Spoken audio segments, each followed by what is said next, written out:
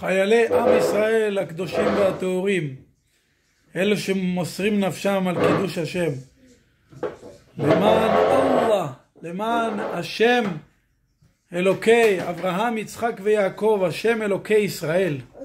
אתם הולכים בשליחותו של המלך, מלך המשיח, הנציג האמיתי של מלך מלכי המלכים הקדוש ברוך הוא. חנוכה זה זמן הניצחון של עם ישראל על היוונים. אל תקשיבו להוראות שאומרות לכם לא להגיד שמע ישראל ליד מסגדים, או להוראות תלכו למחוק את כל הגרפיטי שעשיתם וכל החרטה ברטה הזה. מה זה הצבא הפרוגרסיבי הזה? מה זה האלופים, הכל מקרן וקסנר? אל תקשיבו להם, מי, מי הם בכלל?